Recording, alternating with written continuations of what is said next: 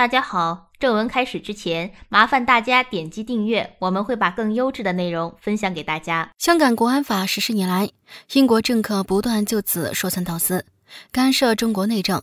事实上，国安法发布实施虽不到一个月，香港教育界已出现积累变化，令社会各界颇感振奋。参加违法活动的学生数量有所减少。原本多次被质疑包庇、纵容皇师、读教材的个别中学，也开始公开劝阻学生参加违法活动。七月十七日，担任香港终审法院非常任法官的英国最高法院院长韦彦德又拿司法独立说事，声称英国最高法院是否将继续派出法官担任香港终审法院非常任法官。是香港能否维持司法独立及法治而决定。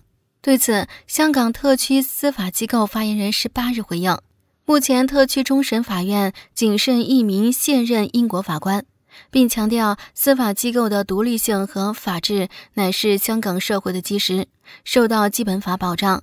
自一九九七年香港回归以来，英国已经派出两名现任法官在香港终审法院审理案件。英国最高法院的前院长黑尔大法官原定于今年初赶赴香港，但因疫情限制没来。国安法通过后，香港终审法院首席法官马道立发表声明，重申司法独立和法治是香港社会的基石。一个不来，那在香港任职的另外一个英国派来的法官是谁？在香港法院网查询名字叫韦彦德。一对照片才发现，这不就是李德本人吗？拿着英国工资的同时，又来我们中国捞外快，兼任中国香港的法官。李德称，英国最高法院会派两名法官出任香港终审法院非常任法官，除了处理民事及商业诉讼，还包括人权及言论自由案件。但早前英国法官何西怡退休后，相关空缺并未替补。其本人现是唯一的中院海外非常任法官，并抱怨未获编排审理香港案件。事实上，韦彦德所谓的司法独立受影响的干扰，全国人大主任沈春耀早已于七月一日做出过明确解释。沈春耀称，关于审理有关危害国家安全案件的法官，在这次法律中有一定的规定，也是一个制度规则。行政长官从裁判官、区域法院的法官、高等法院原诉讼法庭的法官、上诉法庭的法官以及终审法院的法官中指定一些法官负责审理有关危害国家安全的犯罪案件。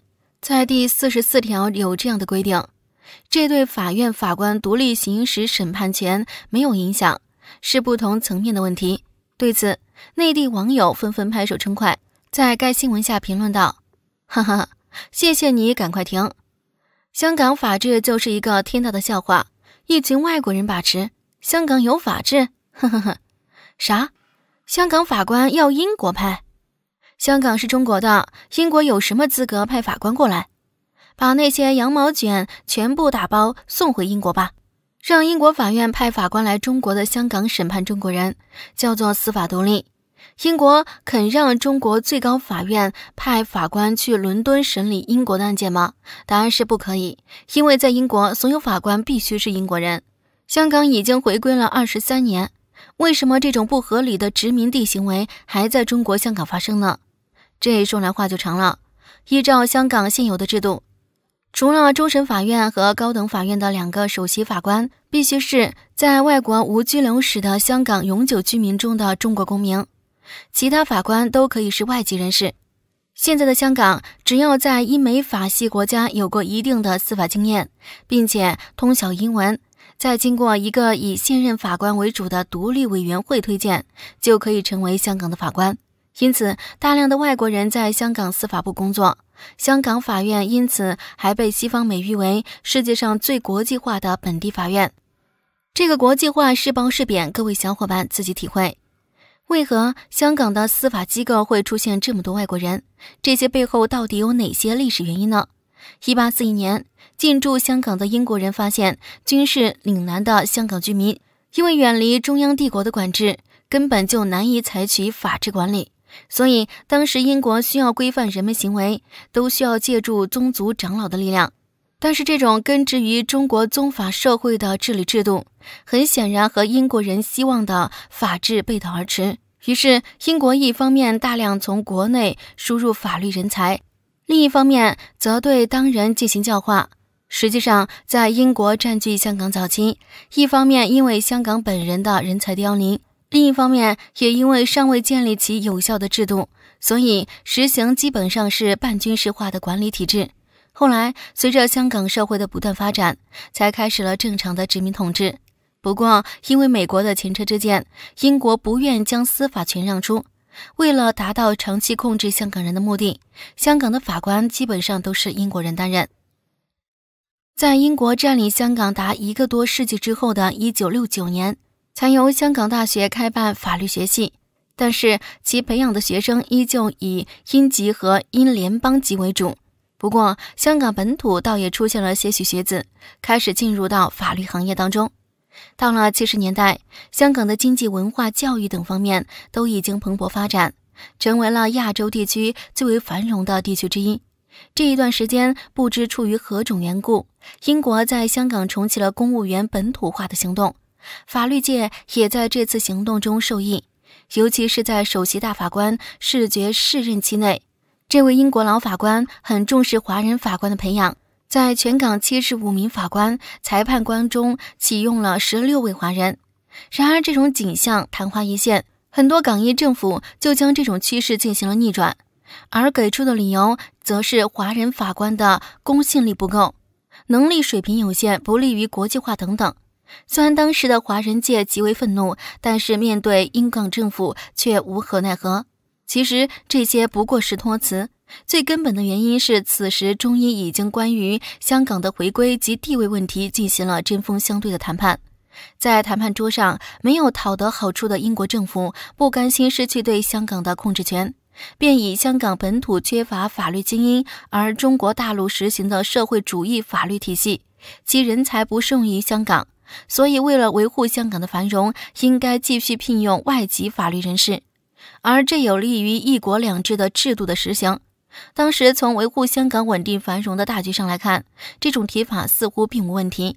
而港英政府则迅速通过香港回归前的一系列操作，将香港本土法律人才大量排挤出司法机构，使得香港司法机构在三股分立的名义下，成为了不受香港政府管制的独立王国。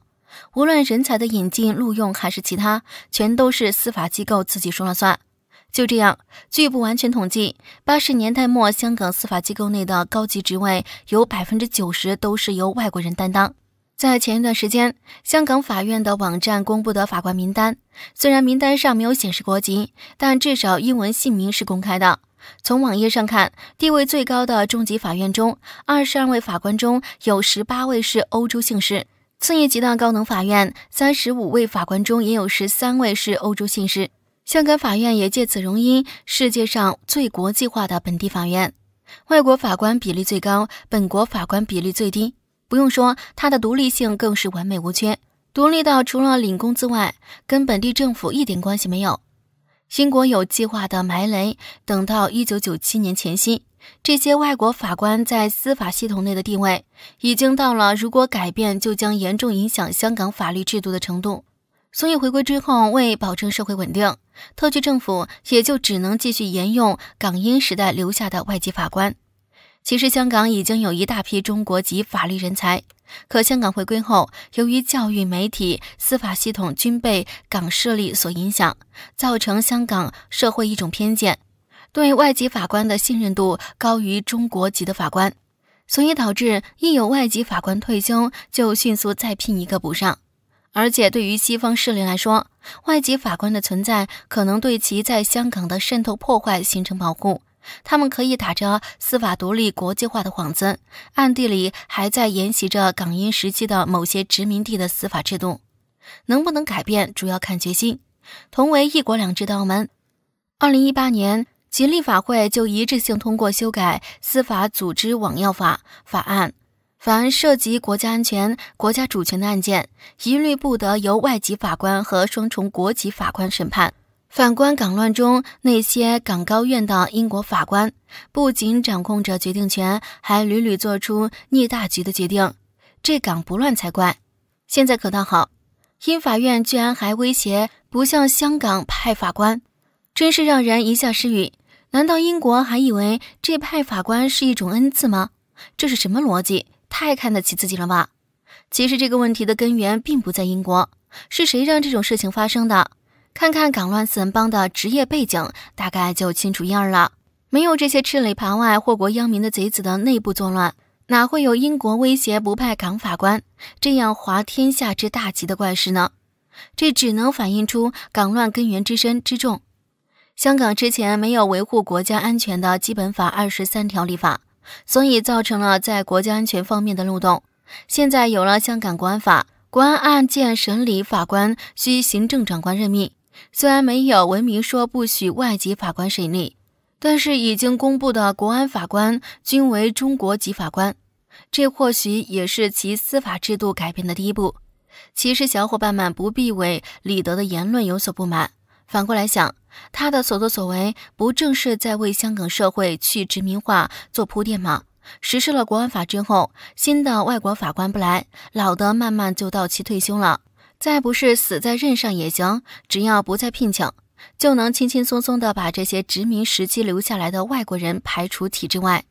今天的节目就到这里，喜欢的朋友别忘记点赞、分享、订阅，你们动动手指对我可是意义重大。就这样。我们下期见。